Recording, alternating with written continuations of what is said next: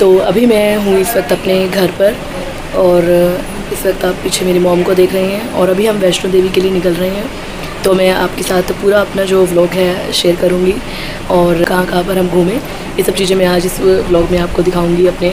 और I am sorry कि आप ये व्लॉग दो चार दिन बाद ही देख पाएँगे क्योंकि बीच में हो सकता है शायद टाइम ना मिले मुझे वीडियो अपलोड करने का तो वापस आके मैं सारी चीज़ें आपसे शेयर करूँगी।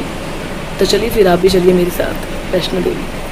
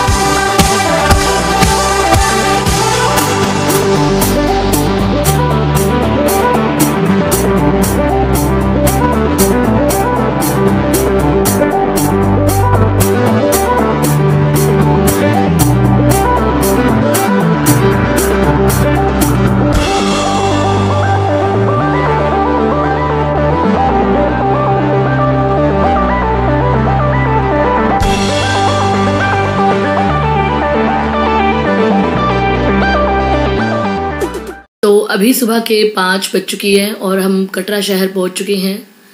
तो चलिए मैं आपसे थोड़ी देर में मिलती हूँ, थोड़ा फ्रेशनअप होने के बाद हम आपसे बात करते हैं।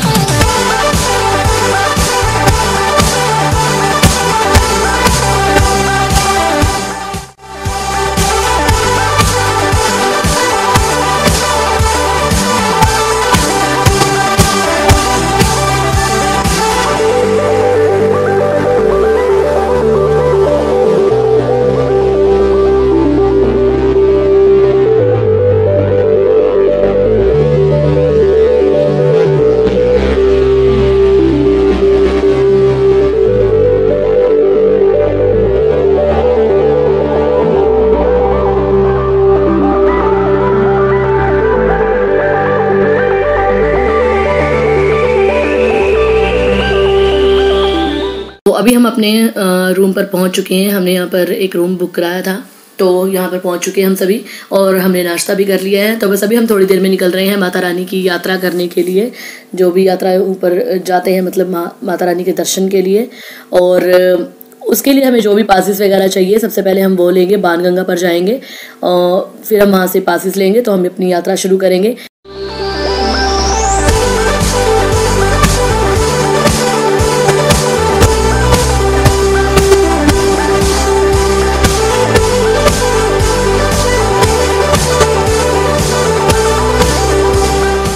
राम राम से राम राम से वो तो दिख नहीं रहा कहाँ से बना रहा इधर हो जाओ इधर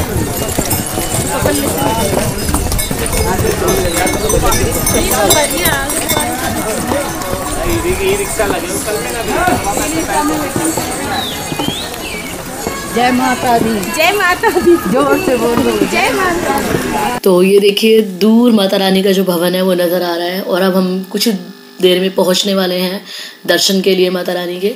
तो चलिए मैं आपसे थोड़ी देर में मिलती हूँ।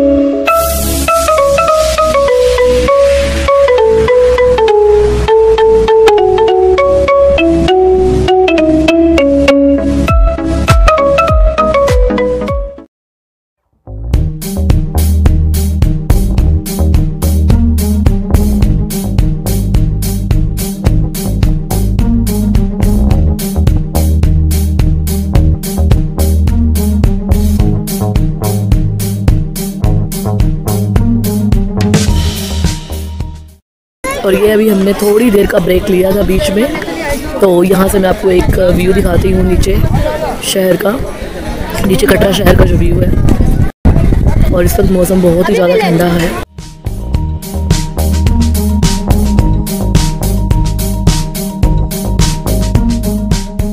अभी हम सब लोग वापस जा रहे हैं अपने शहर। और दर्शन माता रानी के बहुत अच्छे से कर लिए हम सभी ने, और बहुत ही मज़ा आया। बस अभी आगे से हम प्रसाद वगैरह लेंगे सभी रिलेटिव्स के लिए, और, जिस चीज़ को भी प्रसाद देना तो चलिए मैं आपको सुबह का एक बहुत खूबसूरत एक नज़ारा दिखाता हूँ।